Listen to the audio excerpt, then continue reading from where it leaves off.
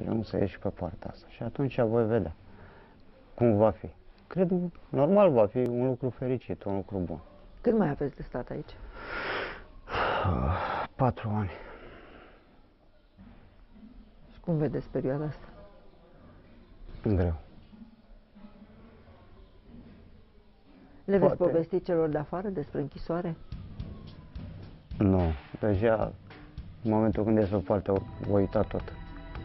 Și în acest moment, foști colegi de cameră, a plecat din camera a treia zi dacă mă întreabă cineva cum mă, eu nu mai știu cum mă cheamă. Numai dacă am avut cât de cât o anumită amiciție, așa zis, prietenie mică. Asta mai mult de voră. Dar în rest nu mi-am încărcat memoria cu nume de deținuți. A, dacă îl văd, mi-aduc aminte, bă, cunosc că a fost la Craiova sau pe camera. Nu, am, nu m-am plimbat prin penitenciare, aici am făcut, mi-a făcut pedeapsa. Și am fost la București doar cu anumite recursuri și atât, două, trei ori. Ce persoane ați cunoscut în închisoare? Dar sunt diferite persoane, și intelectuali, și mai puțin intelectuali, și patroni, și doctori, și procurori, și tot felul de oameni. Contează ce ai fost afară aici în închisoare? Nu mai contează. Din contră, te ia și în rest. Ce? Te-ai fost afară, aici ești nimeni. Aici școala vieții contează, nu școala propriu-zisă. Și poate nu știu să semnez. Aici sunt șmecheri. Ce înseamnă să ai școala vieții? Să fii trecut prin lume, să... Nu știu. Eu dacă am dacă servicii acasă, om familist, n-am probleme cu jocul de noroc, cu...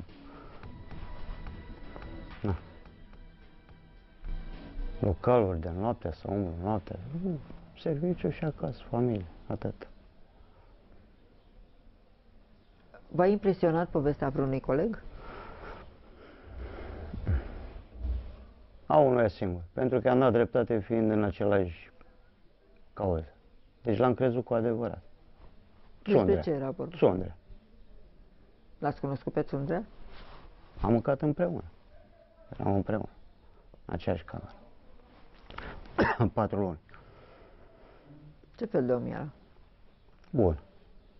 Ajutător, cu minte liniștit.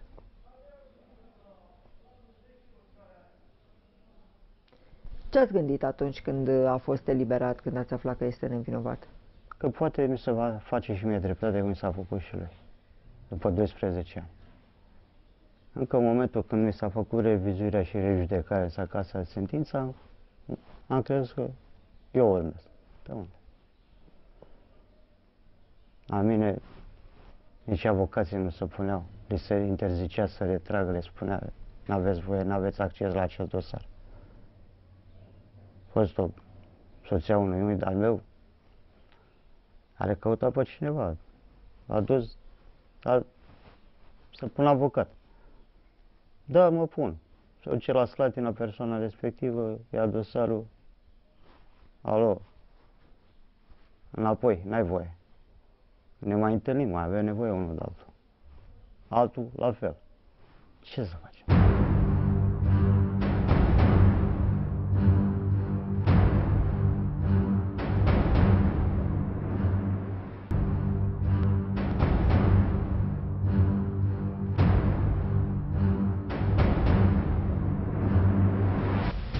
Așadar, acest condamnat a fost unul dintre prietenii lui Marcel Tundrea, românul care a stat nevinovat 12 ani în temniță.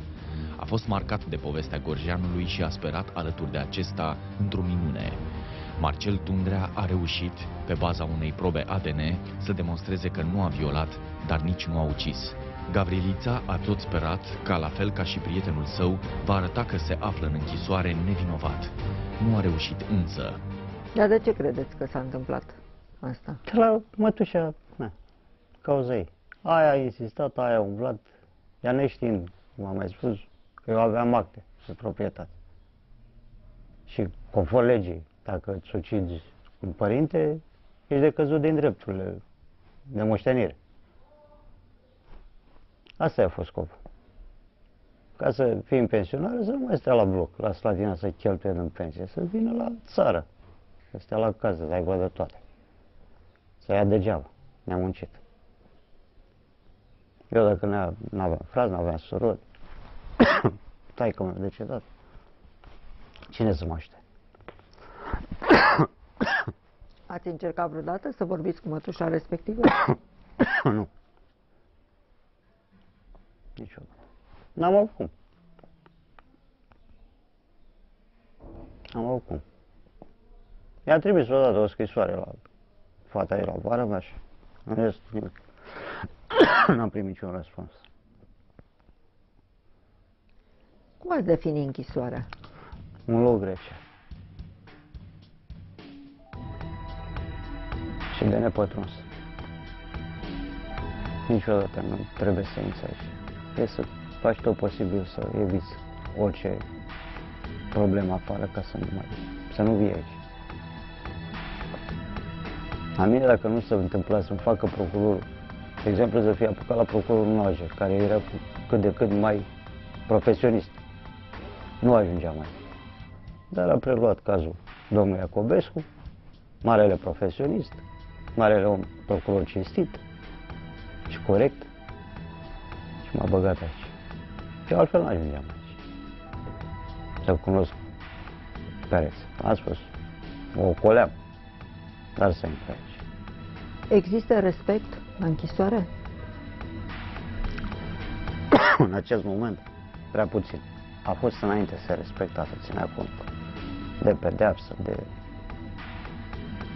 cât a executat, dar deja din primul rând, când intrai în cameră și auzea că ești comod, fără să fii condamnat, deja să știa că se ia. Înainte să dau pedepse, mă, nu ca acum. Acum, pentru omoria 9 ani, 10 ani, 13 ani, 12 ani. Deja e, aveai respect. Că știa că ai de stat aici. Acum, sau dacă la vârstă sau asta, păi acum te uiți, copii, BDD, cum se spune în termeni de penitenciar. Nu știe de respect, că ai o anumită vârstă, că ai un anumit IQ.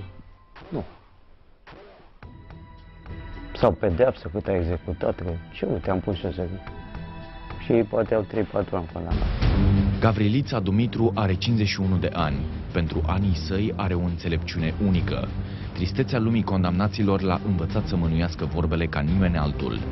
În anii de detenție de până acum s-a îmbolnăvit grav. Nu mai poate munci. Nopțile lui sunt aproape toate albe. Povestea vieții lui este precum o doină de jale. Îți pătrunde în suflet și te pune pe gânduri. O asculți și parcă nu te mai duce în locurile de demult. Vorbele sale au devenit, odată cu încarcerarea sa, precum un vers dulce și amar. Câtă răutate și câtă bunătate există aici? 90% răutate, 10% bunătate. Și cum poți să faci față răutății de aici? Mă fac că nu văd și că nu aud.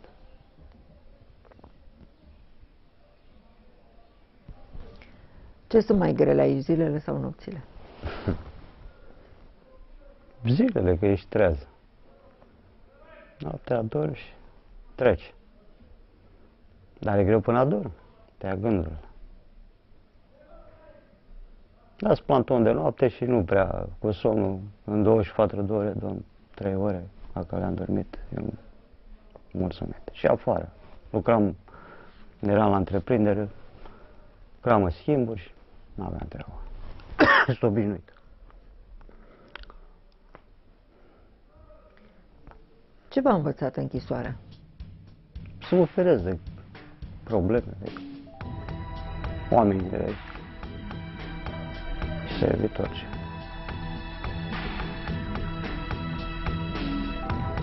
Ce poți să faci aici ca să treacă timpul mai ușor sau mai repede?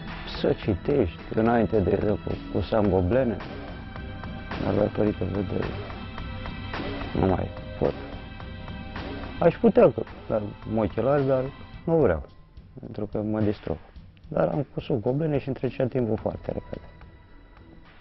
Câte goblenuri ați pusut? Am întrebat pe domnul Țânțăreanu. Ni le-ați dat Le, dânsului? le vedeți la dânsul în casă, lucrările mele. Se face greu un goblen? Mm. Pentru mine n-a fost greu. Eu, lucrând în domeniu, cum să spunem, la proiectări, la milimetru sau înainte la tehnicia metrolog, reparam șublere, micrometre. Nu era. Deci, greu. Poți să faci bani la închisoare? Poți. Cu, pe căi legale. Deci, de exemplu, Da. am pus goblene, le trimiteam la domnul Țânțăreanu, domnul Țânțăreanu nu trimitea bani. Muncă cinstită și corectă. Așa făceam și afară. Nu eram cu biznițe, ia de acolo, de acolo. Nu. Eu n-am, n-am știut, pentru că a terminat școala, serviciu și atât. Ați avut vreodată probleme aici? Nu știu, v-ați certat cu vreun coleg, cu gardieni? Cu... Nu, nu, nu. Sau cu cadrele, cu domnii supraveghetori, nu, niciodată. Păi dacă vă dați, am zeci de recompense, sute de credite. O recompensă se dă datorită comportamentului. Sunteți un uh, deținut model?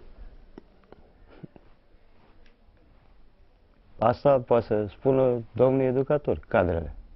Dar conform dosarului și ceea ce scrie că am un comportament ireproșabil, deci nu oscilant, ca la majoritatea. La mine spune comportament ireproșabil. Deci asta înțelege tot. Gavrilița vrea să-și strige lumii disperarea, să arate ce înseamnă să miroși primăverile și verile din mijlocul durerii, ce înseamnă să vezi soarele și stelele printre gratii. Timp de peste 15 ani nu și-a putut da seama când bătea vântul și când nu. Nu a văzut frunzele toamnei plutind în razele soarelui târziu. A auzit doar povești de disperare ale unor încarcerați. S-a izolat astfel într-o lume doar a lui. A trăit într-o lume plină de tristețe și de neînțelegere. Într-o lume în care a refuzat să își facă prieteni și să rețină nume și persoane. Marcel Tundrea a fost singurul său prieten. Ce ar trebui să știe societatea despre închisoare? Că este greu aici și să fie mai blândă, mai înțelegătoare, să, să acorde anumite șanse, anumite facilități. De exemplu, când ieșim de aici, să fii sigur, avem un loc de muncă asigurat. Cei care n-au casă, să ia- le asigură o casă socială, o locuință socială. Căci altfel sunt nevoiți să vină înapoi aici. Mai credeți în justiție? Nu. Din acel moment eu n-am mai crezut în justiție. Până atunci credeam. Dar în acel moment, nici în prezent nu cred. Justiția este oarbă. Credeți că veți reuși vreodată să, nu știu, să demonstrați că sunteți nevinovat? Când voi fi afară. Pentru că și, și în timpul când am fost condamnat, nu am nimic cu cadrele, instituția în sine penitenciară. Conform legii, când se uh, expiră un mandat de arestare sau prelungire la mandatul de arestare, penitenciarul are obligația în secunda 1 să se scoată pe poarta afară. Nici măcar nu au obligația să dea telefon la procuror sau la judecător ce facem cu el, îl mai ține sau nu. Trebuie să te scoată pe poartă. N-ai prelungire, n-ai, nu există act judiciar de privare de libertate. Iar în cazul meu s-a întâmplat 97 de zile. Deci nu este o zi, două, 97 de zile. Tribunalul Olt nu mi-a mai emis prelungire la mandat. Penitenciarul nu mi-a dat drumul. Pe parcurs am ajuns la curtea de apel. Am făcut și un apel la sentință. Când am ajuns la curtea de apel, judecătorul s-a uitat în sală când a făcut apelul, când mi-a strigat numele, petentul Gavrilița Dumitru. Și eu am răspuns din box acuzațiilor, a rămas așa. Pentru că omul a văzut, a fost corect, nu aveam hârtie la dosar. Și atunci mi-au emis dânsi, au avut grijă să-mi emită. Deci 97 de zile am stat închis aici, fără acte judiciare. Cu fostul director, domnul Cergă, procuror de meserie, magistrat, omul știind legile, n-a vrut să-mi dea o adeverință. L-am dat în judecată pe contencios administrativ și l-am câștigat în primă instanță, am câștigat a doua instanță. L-a obligat legea să-mi dea adeverința care a solicitat-o prin cereri scrise și verbale, în care să se recunoască în partea penitenciară că nu există acte judiciare de privarea mea de libertate pe timp de 97 de zile. Din mai până la august. Și n-a vrut. A dat în judecată, instanța l-a obligat și atunci am obținut acea adeverință. Dar degeaba, v-am spus, am actele, mă uit la ele și fac cruce. Dreptate nu mi se face. Procurorul mă, mă lua și la mișto. Lasă că te liberezi mai repede, cu 97 de zile. Dacă te uceai să tai 97 de zile afară, mai să tai în pușcărie 97 de zile. Și îmbătrâneai. Ce să fac? Atât a greșit penitenciarul cu mine, față de mine. În rest, Care este primul lucru pe care îl veți face în momentul în care veți fi eliberat?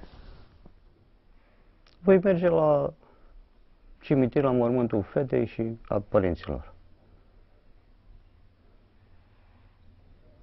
Și după aceea? Voi merge la Caraca, la fete, să stau de vorbă cu ele și voi căuta un serviciu. Ce să fac?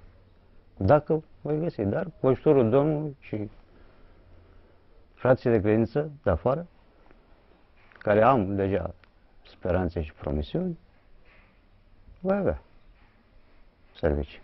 Și așa, în vârstă, cum voi fi.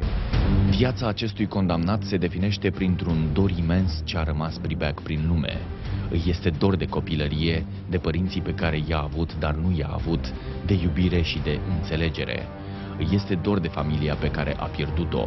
Tânjește după o viață liniștită, așa cum și-a visat-o în tinerețe. Ar vrea să înțeleagă de ce i s-au furat aceste visuri. Ar vrea să știe de ce i s-a aruncat viața într-o lume a disperării. Dacă ar fi acum în fața dumneavoastră judecătorul care v-a condamnat, ce ați spune? Ce să spun? Să-i ajute Dumnezeu. Atât. Așa i-a spus și lui doamna procuror Radovan de la Slatina. Să vă ajute Dumnezeu, doamna procuror, că prea sunteți împotriva mea. Sunteți pusă, croită împotriva mea. Să vă ajute. Și a ajutat-o Dumnezeu. Am mâncat o muțăle în casă. Am murit și am mâncat o muțăle în casă. O vezi pe moartă în casă. A ajutat-o. Câte rele a făcut. Și toți pe lumea asta orice greșeală se plătește. Mai devreme sau mai târziu. Orice răutate. Totdeauna trebuie să fim buni, trebuie să fim iertători, să fim blânși, înțelegători și corecți. Dacă ai greșit, plătește. N-ai greșit, nu plătește. Gavrilița Dumitru, condamnatul care a cunoscut umilința în libertate și în lumea condamnaților, a supraviețuit celor două existențe prin durere și o cruntă resemnare.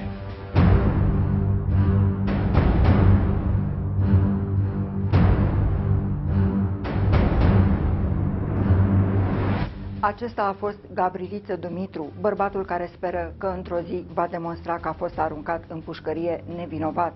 Sunt Adriana Stoicescu și vă dau întâlnire tot aici săptămâna viitoare la Condamnații.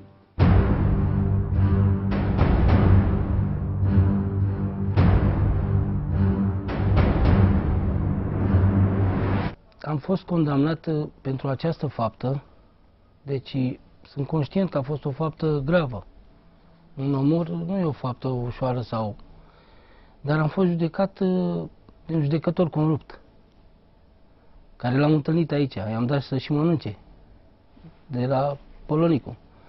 Și mi-a zis că îi pare rău pentru ce, că m-a condamnat așa mult. Și a zis că dacă o să iese judecător nu o să mai judece așa, să dea pedepse așa după ochi, cum s-a exprimat. Pentru ce a fost închis el? Pentru mită. Eu am știut ceea ce face și nu mi-a dat voie la martori să-mi audiez martori. Și mi-a băgat premeditare lucru ce nu era adevărat. Deci eu m-am luptat pe orice cale, cu toți avocații, cu toată lumea, să-mi lase martorii principali care trebuiau să știau situația. Și nu mi-a dat voie, pentru că să poată să-mi bage premeditarea asta. Mi-a zis că am atras într-o casă străină să o omor. Și aia era apartamentul nostru, deci era închiriat. Ce ați gândit când uh, v-ați întâlnit cu judecătorul care v-a condamnat aici? Ce să gândesc? I-am, sp- i-am zis că Dumnezeu nu a dormit nici pentru el. A fost groaznic, că a venit, a venit uh, pe celular l-au adus. Și când s-a văzut el într-o cameră de 4 metri și erau doi ingineri, Deci n-am vorbit mult timp cu nimeni și până la urmă am stat de vorbă, am zis, asta a fost, deci eu nu sunt supărat pe dumneavoastră că, că m-ați condamnat. Sunt supărat pentru că n-ați judecat corect. Pentru ceea ce am făcut. Și ce v-a răspuns? A zis că a fost, își cere scuze, că asta este, deci dacă știa ce e aici, nu făcea lucrurile astea. Da. Bine că am înțeles, acum eu am zis, domne, Dumnezeu nu a dormit nici pentru mine, vedeți dacă ați făcut rău, rău ați găsit. Și nu numai cu mine, la foarte mulți deținuți. Eu când am uh, fost judecat am căzut și cam mai iure, am căzut când a fost uh, acel caz cu caiac. Și intram în box exact cu acel Mavrichi care l-am urmărit.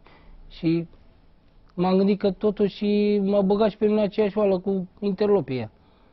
Dar n-a fost așa. Deci la mine a fost uh, o răzbunare. Adică nu mi-a dat voi la apărare.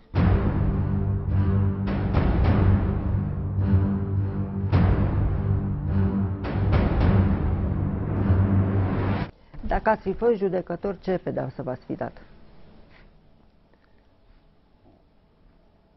15, 18, asta e, cam asta era pentru fapta de am făcut-o eu. Pentru că am văzut aici, v-am zis, tot felul de fapte.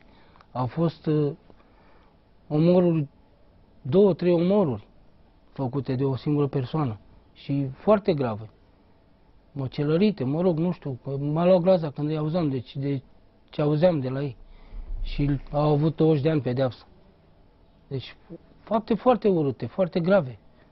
Și m- alții care au, fă, au făcut fapte asemănătoare cu a mea, deci cu soțiile din gelozie, mă rog, din alte... Deci au avut pedepse 10 ani, 12 ani, 8 ani. Așa s-au dat pedepse la aceste fapte, da?